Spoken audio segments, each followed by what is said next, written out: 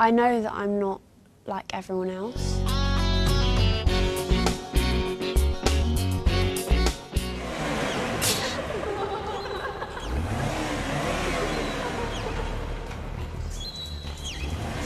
My character Brooke has has faced those like difficulties and challenges of, of feeling different. But I think that she's really embraced it and I know that I have embraced my difference like over the years.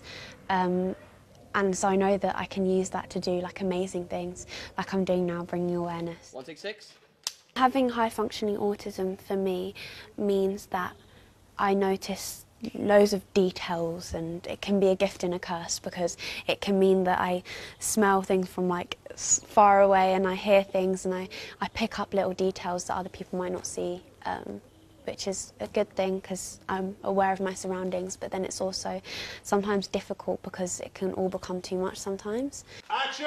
I feel like Hollyoaks has really helped me. When I joined, they had uh, autism training. So there's going to be a big noise or something's happening, they'll, they'll warn me beforehand. I can go in another room, like I have my own room. It's, it's really simple, but it's just, it's so helpful.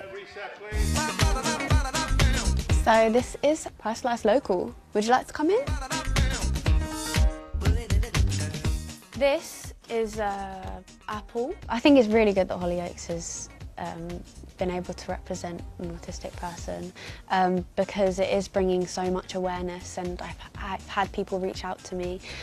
I would have loved to have someone growing up that, that had autism that was open about it, that, that was an actor that I could be like resonate with. So this is the Osbornes where Darren and Nancy live. It's honestly so amazing here. Every set feels like home.